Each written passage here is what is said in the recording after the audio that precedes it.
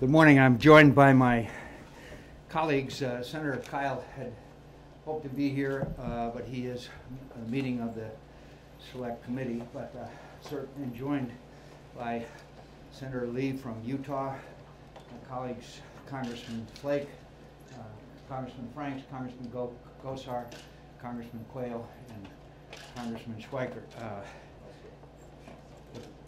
oh, how are you? Glad to see you. So, uh, uh, and uh, Congressman Rob Bishop. Uh, over the past two decades, northern Arizona has had a long history of productive and safe uranium mining on the Arizona Strip and the southern Kaibab National Forest.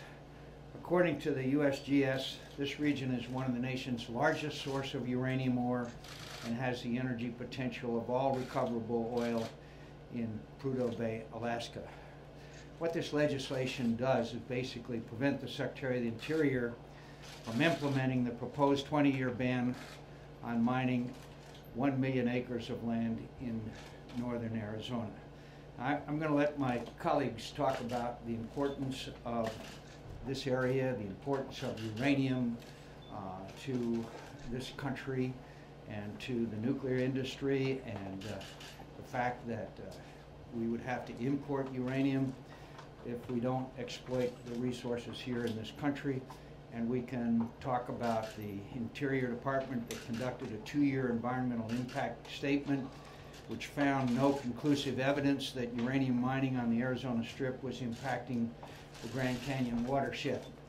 But most importantly, I and uh, late Congressman Stump of Arizona and the, and, and the entire delegation at that time engaged in a two-year negotiation for a wilderness bill that put some 3 million acres of Arizona into permanent pristine preservation. Part of that deal was, it was insisted on by then Congressman Stump and agreed to by Congressman Udall, a renowned environmentalist, and all of us, that the Arizona Strip would be open to mining, cattle, and other exploitation uh, as part of the deal to put this land into wilderness. Secretary Salazar, who I happen to admire and respect, obviously is disregarding the legislative history. And I have quotes from the testimony and statements made by uh, Michael Scott, who is in the Regional Southwest Director of the Wilderness Society. The Wilderness Society and every environmental group signed off that the Arizona Strip would be used for commercial purposes, grazing, mining, etc. Now they're going back on their word. So the next time they come and they want to make an agreement with us, then we're going to have great difficulty because it's obvious that they are in violation of the 1984 agreement that was made between all of us. It's outrageous and disgraceful. Could I ask Senator Lee to go ahead with a strong letter to follow? Thank you very much, Senator McCain. I appreciate Senator McCain's leadership on this issue. I appreciate him and all of my Arizona friends. As one who was born in Arizona, who has a lot of relatives in Arizona, uh, and uh, who has constituents along the Utah-Arizona border who will be directly affected by this, I'm very concerned about uh, this course of events that has led us to introduce this legislation. I'm honored to be part of this. At the end of the day, this is about jobs. We're talking about potentially thousands of jobs on both sides of the Utah-Arizona uh, the Utah-Arizona border. Potentially thousands of jobs that could be in place for several decades. We're talking three or four decades. At a time when our country is so in need of job creation, we need to be doing everything we can to allow reasonable, responsible job creation. We certainly need for the federal government not to be taking action that would thwart job creation particularly job creation in an industry such as this one that can produce energy that needs to be produced, uh, especially where those same jobs are going to be sent elsewhere, probably overseas, if we don't allow those jobs to be created right here. At a bare minimum, if the federal government's going to get involved in something like that, if the federal government's going to place this land beyond uh, the reach of anyone to develop its rich energy resources, that is a matter of profound policy significance to the American people. And as a matter of legislative significance. It is not a matter that should be addressed anywhere else other than starting with the United States Congress. Now, as it turns out, when we go back nearly 30 years, this issue was addressed. This wilderness area was set aside, with the Arizona Strip designated as something that had significant energy potential and should be available for that kind of development. So if we're going to revisit that, let's, uh, let's have the debate, but it should be visited in Congress, not by an office in which no one is elected or accountable directly to anyone who is elected. It needs to happen in Congress. And uh, I, I, respectfully submit that uh, if that debate were to occur, which it will as a result of this legislation, we as a Congress will conclude that the right thing to do is for allow for these jobs to move forward and to be created. And uh, I will now turn the time over to my friend and colleague from the House, Representative Jeff Flake. Well, thank you. I, I appreciate this legislation being introduced. I was raised in northern Arizona. Uh, my family goes back there five generations. If I were to do anything that would jeopardize the, the Grand Canyon or any of the, uh, the other elements of scenic beauty uh, we have in Arizona, I would be run out of the state on a rail um, by my own family and everyone else. We all recognize the value of having the Grand Canyon there. That's why this, inter, this uh, legislation and the Arizona Wilderness Act that was done in the 1980s was so important that we can protect uh, the scenic beauty that is there. Uh, but that act also recognized that there is economic value outside of the boundary of the Grand Canyon. And uh, there's a bit of a misunderstanding sometimes when people hear the Arizona Strip, it conjures up uh, some image of strip mining. Uh, this is breccia pipe uranium mining that is uh, very, very low impact after reclamation. the life of the mine is six or eight years.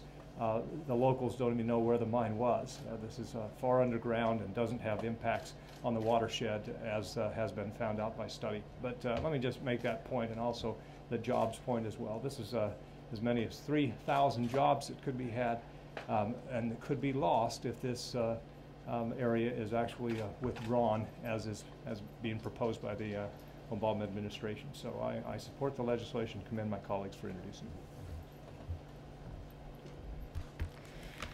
Well, I'm uh, honored to stand here with Senator McCain and, and, Congressman Rob Bishop and Jeff Flake and Paul Gosar and Ben Quayle and David Schweikert to, to introduce this Northern Arizona Mining Continuity Act of 2011. Uh, it, uh, very simply, uh, as has been said, it would uh, prevent the Department of Interior from withdrawing a million acres of Arizona land with the goal of preventing uranium mining on that land for the next 20 years. Now, most of my colleagues have already addressed some of the economic impact. I will only add that uh, in the county that I represent, uh, the Butler area of Kingman is 16.2% unemployment. Golden Valley is 21.3% un unemployment. Do Do Dolan Springs is 23.7 unemployment. Locking up a million acres of mining land in northern Arizona ignores the economic realities of the state and will do fiscal harm to the local area. That much is sure. But I think the most important consideration here, even beyond the economic concerns, is the national security impact. The, President Obama has called for the construction of additional nuclear power plants in order to increase our country's energy independence. Yet ironically, uh, this president uh, and his own uh, czar and the Interior Secretary intend to withdraw from mining the most significant U.S. reserves of uranium needed for nuclear power plants, not to mention if we ever get around to updating and modernizing our nuclear weapons capability, there might thereby making U.S. even more dependent upon foreign countries and potentially creating a serious national security threat going forward. According to USGS, Northern Arizona uranium reserves total 326 million pounds, or enough energy to power, power the entire state of Arizona for approximately the next 80 years. By prohibiting the exploitation of Northern Arizona uranium reserves, the Obama administration will potentially weaken America's long-term national security and our ability to be energy self-sufficient. This legislation would stop the Obama administration from eliminating our country's most significant source of uranium, and certainly we hope it passes.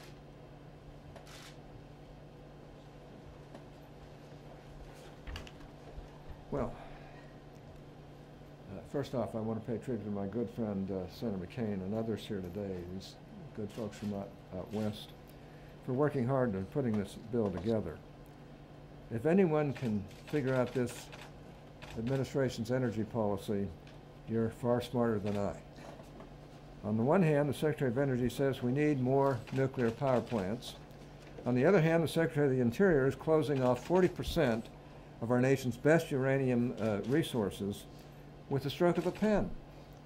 It, it just doesn't make sense, and it's certainly not helping Utah families struggling with high energy costs. and It's certainly not helping Arizona families struggling with high energy costs, and it's certainly not taking away a lot of the energy burden that other uh, states have to bear, which it could do.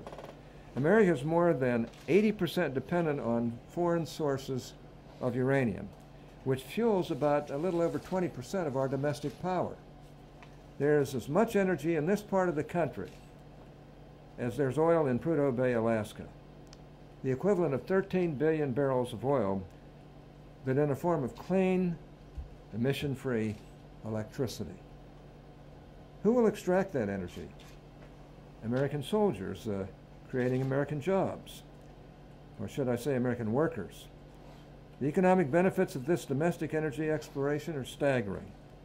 According to a report from the American Clean Energy Resources Trust, opening up this area for exploration will create more than 1,000 jo- uh, total jobs in Arizona alone, but also in my home state of Utah.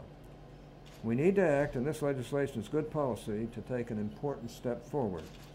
And I look forward to working with all of my colleagues, uh, Senator McCain in the Senate, uh, Congressman Bishop, and others uh, that are here in the House.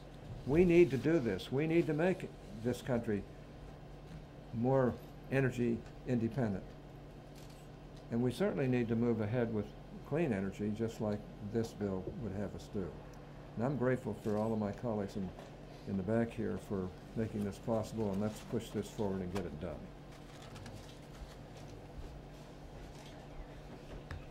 I am, uh, even though I'm from Utah, I'm pleased to try and be here to help my friends in Arizona because it also helps in Utah. The estimates are between 400 to 1,000 jobs directly in Utah, plus a multiplier effect, and it will be in counties that have some of the highest unemployment rates in the state of Utah. But more important than that is the entire concept that is here. Many of the radical groups are trying to, trying to tell you that what we're going to be doing is drilling in the Grand Canyon for uranium. The Arizona Strip, that my friends in the East don't understand, is about the size of the state of New Jersey. It is a huge area. The drilling will not take place, the mining will not take place anywhere near the Grand Canyon. They'll also try to tell you that what we may do is destroy the water that goes through the Grand Canyon and on to Las Vegas and Southern California. Look, the studies that were done by the experts in Arizona said you could take two truckloads of the ore and dump it into the water and you would still not meet the, the levels that the EPA has already established that is allowable for drinking water in that particular area. The threat to this area is minuscule, almost to the point of being non existent. In a private conversation I had with the Secretary of Interior, and I asked him why he tried to arbitrarily withdraw this land, his response was simply, well, there was a bill in Congress that might be more harsh than what he was doing. Mr. Secretary, if there is a bill in Congress, let Congress work their will, and if we do something as silly as this kind of arbitrary withdrawal, then it's our responsibility. We will take the blame for it. But it is our responsibility. This type of action is a legislative action. It should be done by the legislative body, not by the executive branch of government. And unfortunately, the reality is this is a safe industry that is needed. If we don't have our, our resources here, we have to get them from abroad. It can be safely done. It will do no harm either to the visitation of the Grand Canyon or to any of the water that flows into that area on its way to California. So this is a good bill. It's the right bill to do. We should not have had this, this area withdrawn in the first place. And I appreciate both the senators and the House members working together to try and rectify what has been a grave wrong. Well, thank you. Um, Senators, Congressmen, thank you very much for including me. As a representative from District 1 who represents the majority of this, of this plateau, um, I find it offensive that we were, are not looked at as stewards of, of the environment.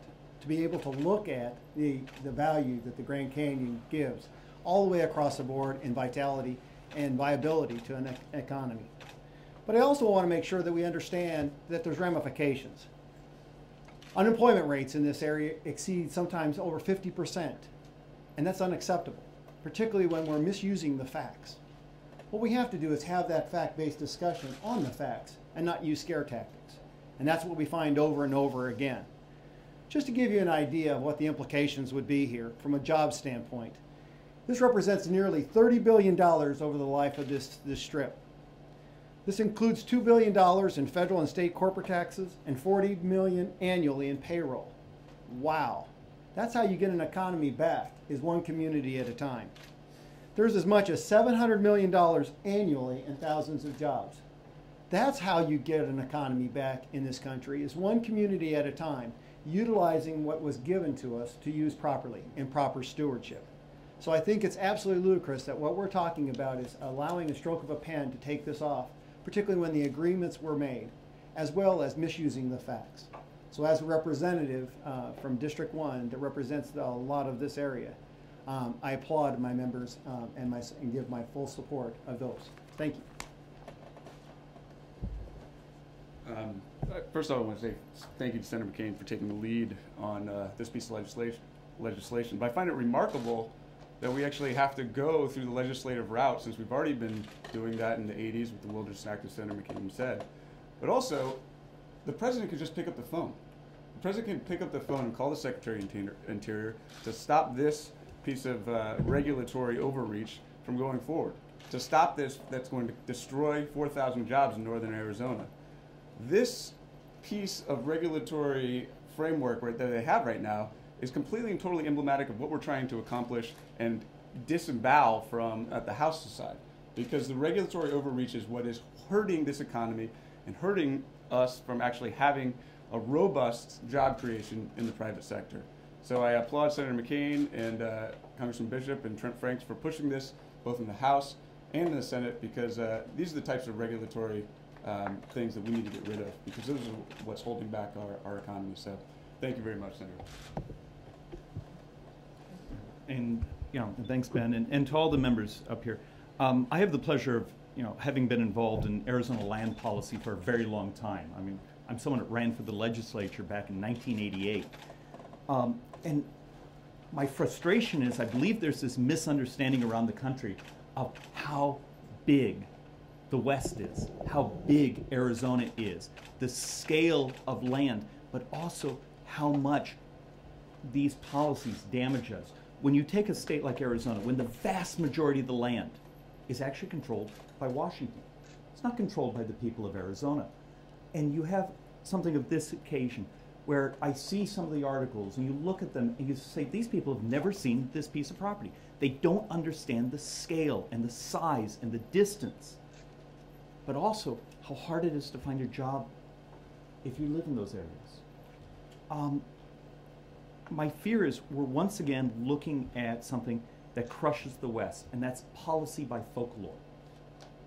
You know, the secretary says, well, this sounds good, and it will make certain people happy, and it will read great in an article, but that's folklore. If you drill into the facts, this just isn't fair to Arizona. Plus, as Senator McCain said, for many of us who weren't even necessarily happy with the agreements made back in the 80s, but we thought, okay, this at least closes the door, ends the battles.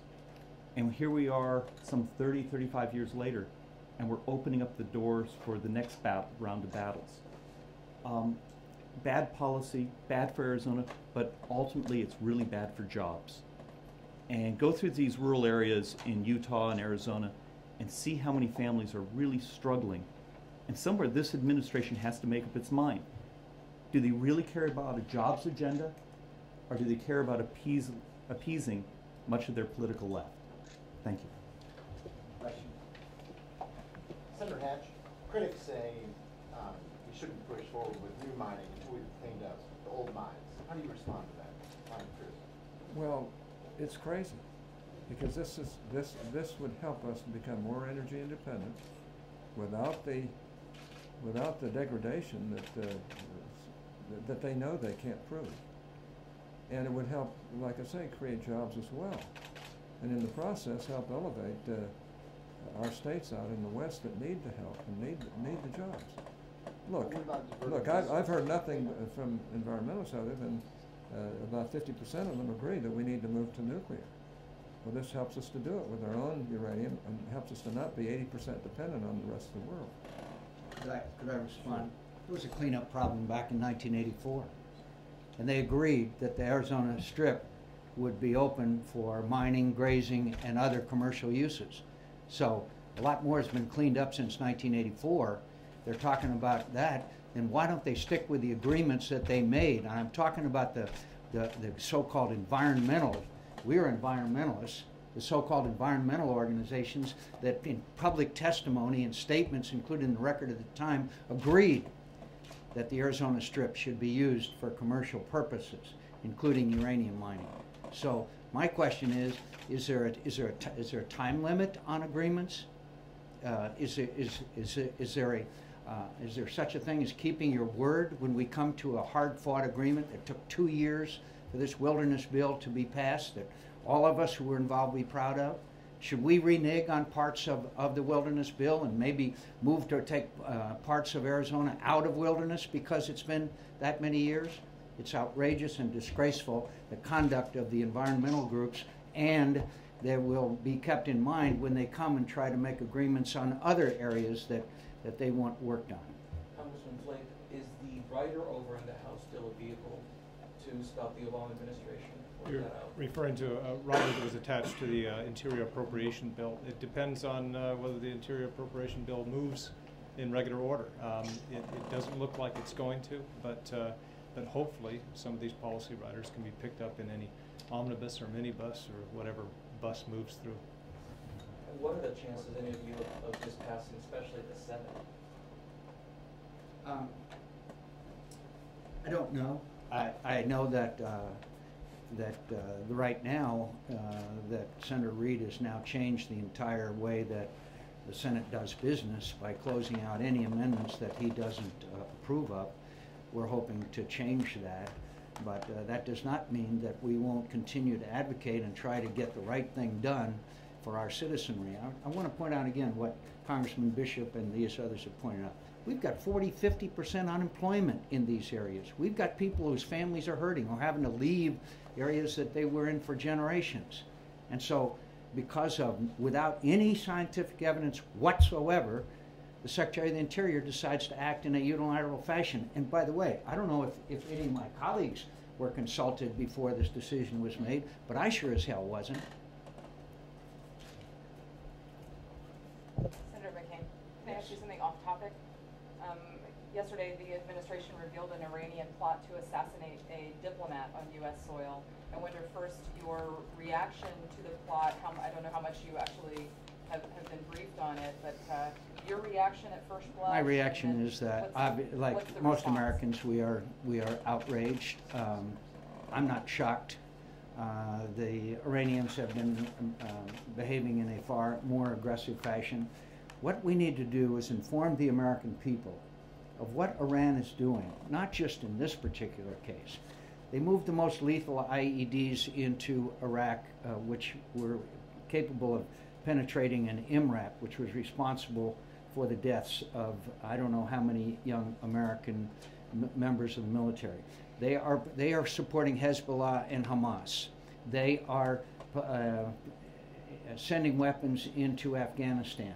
Their nuclear power, their nuclear program and quest for nuclear weapons continues unabated. They have threatened to, uh, to, to do certain things with their ships. Uh, they have acted in an aggressive fashion throughout the region, and now, obviously, they have, uh, in a fortunately not very efficient way, attempted to carry out an assassination in the United States of America. The President of the United States needs to tell the American people that context of our relationship with Iran. And first thing that needs to be done is sanctions on their, on their bank, their central bank, so that anybody that does business with their central bank cannot do business with banks in the United States uh, of America. And then I think other options need to be examined.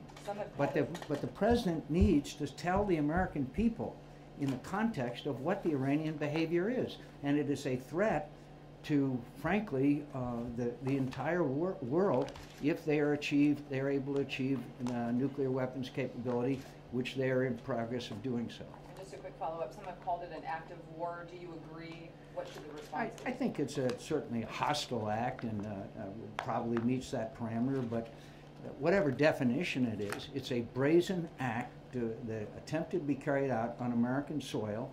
And I don't think this administration has made the American people well enough aware of all of the activities. Put it in the context of all the activities of the Iranians, including isn't may, maybe, by the But way, is a military response appropriate at this point? I, I, thi- I, th- I think to telegraph our punches would be a mistake. But uh, once the American people are aware of the extent of Iranian activities, then I think the American people would be supportive of examining a lot of options. Thank you all very much. Thank you. Thank you.